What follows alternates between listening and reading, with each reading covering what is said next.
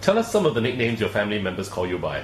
Tata, Arthur, Pite, and Aboy. How many younger or elder siblings do you have, and where do you rank? I have two elder sisters and one older brother. I'm the last. Okay, so who's your favorite sibling? My brother, Who's the sibling that you fight with or argue with the most? none. Really? Okay, describe your bedroom in three words. Trophy, immaculate, bright. List uh, three favorite items in your bedroom. Computer, TV, aircon. Are you an early riser or a late snoozer? Late snoozer, List three things you must do before bedtime. floss, mouthwash, brush teeth. List three things you must do first thing when you wake up. Press the snooze button. Get uh, get out of bed. Take a shower.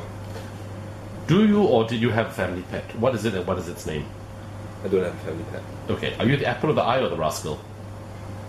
Apple of the eye, Would you consider yourself more mummy's boy or father's pet? mommy's boy. What was the worst punishment you've had from your parents? A slap to the face.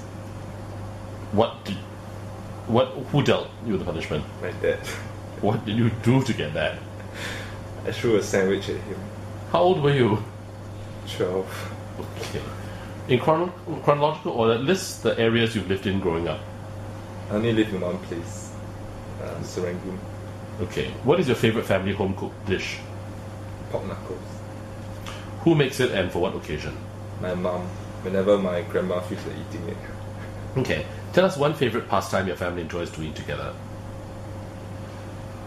We don't have one.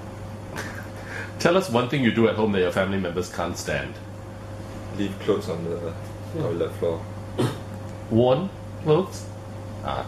Tell us what was the best advice your family members have given you so far? Have ice in your stomach. Okay. Who was it and what was the occasion? My dad. Uh, that was after I went through a rough patch. He said, just keep going.